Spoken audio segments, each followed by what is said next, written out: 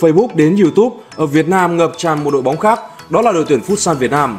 Với trận hòa quả cảm trước Cộng hòa Séc để đưa chúng ta trở thành đội tuyển Đông Nam Á đầu tiên hai lần vào vòng 16 đội mạnh nhất của hai kỳ World Cup liên tiếp. Trước trận đấu với Séc, nhiều người bi quan về khả năng đi tiếp của Việt Nam. Cộng hòa Séc đứng hạng 15 thế giới, hơn chúng ta 30 bậc trên bảng xếp hạng Futsal toàn cầu. Cánh cửa thua trước Cộng hòa Séc cao đến 90%, trong khi khả năng hòa được đại diện mạnh nhất tại châu Âu chỉ là 10% với Văn Ý và các đồng đội.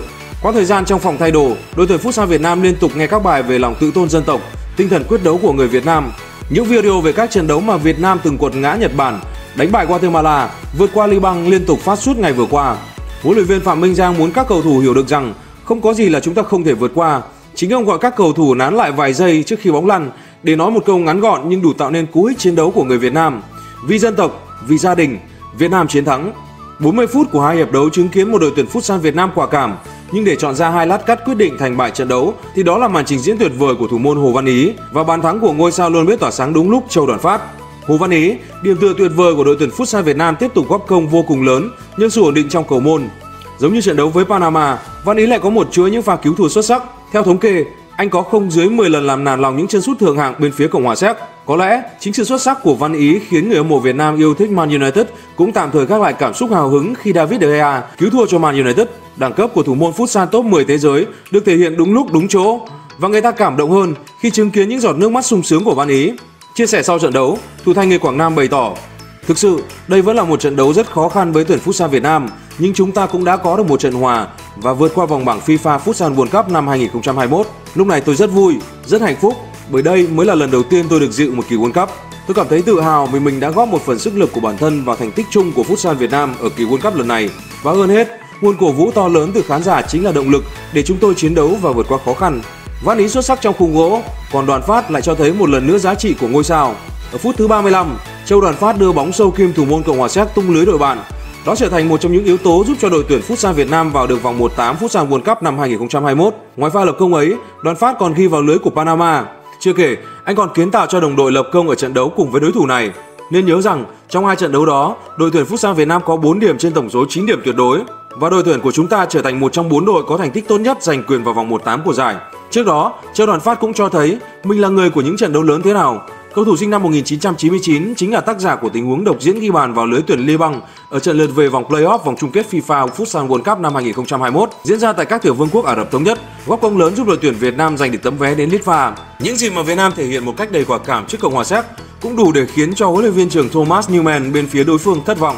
Ông nói rằng: "Tôi rất buồn trước những gì mà đội đã thi đấu. Đã rất lâu rồi chúng tôi mới chơi tệ đến như vậy. Cái kết của trận đấu thật thất vọng. Chúng tôi đã có tới 10 cơ hội ghi bàn, nhưng cách các cầu thủ dứt điểm tệ đến đáng sợ. Chúng tôi thi đấu rất lỏng lẻo, không chỉ ở giai đoạn cuối trận, bóng không được luân chuyển hợp lý và không có đường truyền sắc sảo nào. Các cầu thủ dừng bóng liên tục và không hề chạy chỗ. Tôi rất không hài lòng với màn trình diễn này. Chúng tôi đã rất cố gắng và dĩ nhiên chúng tôi muốn giành chiến thắng. 3 điểm sẽ giúp chúng tôi rất nhiều. Bởi vậy tôi không hề hài lòng với chỉ một điểm. Ông Thomas Newman trách cầu thủ Cộng hòa Séc 1 thì ông cũng có lẽ phải công nhận sức chiến đấu và tinh thần quả cảm của cầu thủ Việt Nam 10. Huấn luyện viên Phạm Minh Giang người Việt Nam thứ hai trong lịch sử đưa một đội tuyển bóng đá dự World Cup sau huấn luyện viên Hoàng Anh Tuấn thể hiện niềm tự hào. Ừ, hôm nay chúng ta gặp Cộng hòa Séc thật sự đó là một trận đấu rất là khó khăn trước đối thủ đứng thứ 15 thế giới. Thì đội Việt Nam thật sự là được đánh giá thấp hơn rất là nhiều. Nhưng hôm nay với cái tinh thần thi đấu của các cầu thủ chúng ta đã quyết tâm và hòa được à, được Cộng hòa Séc. Đó là một cái động lực thật sự rất là lớn của các cầu thủ của chúng ta. Nếu như các bạn cũng xem qua màn ảnh nhỏ thì các cầu thủ chúng ta đã lăn xả như thế nào ngay cả Vũ Đức Tùng bóng 5 năm, mặc dù là nhỏ con hơn nhưng mà vẫn lao vào vẫn tranh chấp. Đó là tinh thần của cầu thủ Việt Nam mình là tuyệt vời, không thể chơi vào đâu được. So với năm 2016 khi đội tuyển Futsal Việt Nam cũng vào đến vòng 1/8 thì ở năm 2021 này, thầy trò huấn luyện viên Phạm Minh Giang thậm chí còn xuất sắc hơn. 5 năm trước, Futsal Việt Nam chỉ có 3 điểm sau 3 trận vòng bảng. Sau 5 năm, trước những đối thủ rất mạnh như Brazil, Séc và Panama, đội tuyển Futsal Việt Nam còn có được 4 điểm sau 3 lượt đấu. Phần thưởng cho đội tuyển Futsal Việt Nam không chỉ là số tiền thưởng lên tới 1 tỷ rưỡi cho 3 lượt trận đấu đó, mà còn là sự ghi nhận của người hâm mộ cả nước trong một nền bóng đá Futsal ngày càng chuyên nghiệp của Việt Nam. Lần thứ hai liên tiếp, đội tuyển Futsal Việt Nam vào đến vòng 16 đội mạnh nhất. Đó là sự khẳng định cho việc tịnh tiến lên đẳng cấp thế giới của đội tuyển Futsal Việt Nam.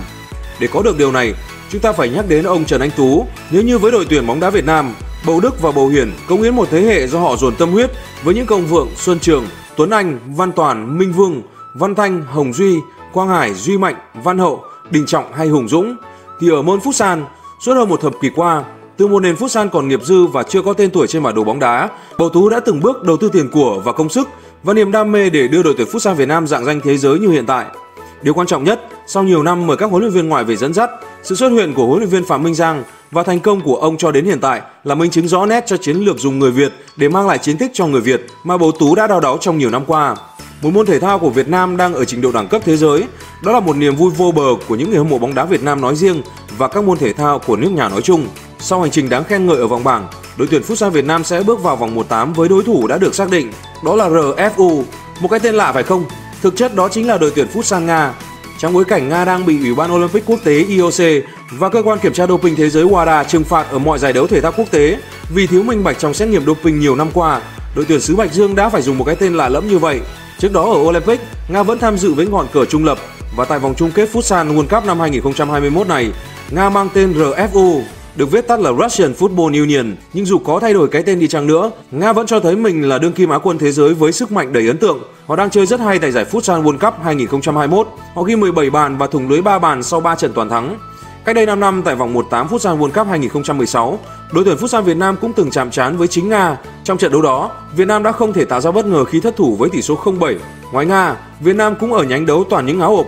Có thể kể đến như Brazil, đội vừa thắng Việt Nam 9-1 ở vòng bảng, Maroc, đội vô địch châu Phi hay Nga. Ngoài ra chưa kể đến khả năng Argentina, đương kim vô địch thế giới, hoặc Iran, đội hạng 3 thế giới 5 năm trước, cũng ở nhánh đấu này. Quả thực, đến thời điểm này, đội tuyển Futsal Việt Nam đã hoàn thành mục tiêu mà mình đề ra. Tới đây, chúng ta có quyền tận hưởng từng trận đấu một cho chuyến phiêu lưu ở tầm cỡ thế giới trước một đội tuyển Nga hùng mạnh, thật sự không có nhiều cơ hội cho thầy trò huấn luyện viên Phạm Minh Giang.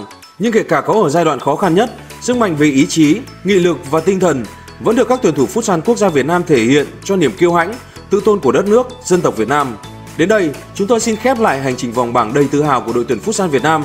Xin chúc Bầu Tú, huấn luyện viên Phạm Minh Giang và toàn thể anh em cầu thủ có sức khỏe, sự tự tin để bước vào vòng 1/8.